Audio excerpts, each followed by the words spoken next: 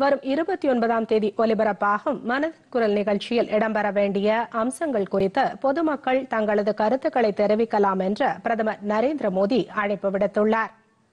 ஒவ்வொரு மாதமும் கடைசி ஞாயிற்றுக்கிழமை அன்று வானொலி மூலம் மனதின் குரல் நிகழ்ச்சியில் பிரதமர் நரேந்திர மோடி உரையாற்றி வருகிறார். அதன்படி எண்பத்தி ஒன்பதாவது நிகழ்ச்சி வரும் இருபத்தி ஒன்பதாம் தேதி காலை பதினோரு மணிக்கு ஒலிபரப்பாகிறது. இந்நிலையில் ட்விட்டரில் பதிவிட்டுள்ள பிரதமர் நரேந்திர மோடி இந்த மாதத்திற்கான நிகழ்ச்சியில் இடம்பெற வேண்டிய அம்சங்கள் குறித்து பொதுமக்கள் தங்களது கருத்துக்களை பகிர்ந்து கொள்ளலாம் என்று அழைப்பு விடுத்துள்ளார்.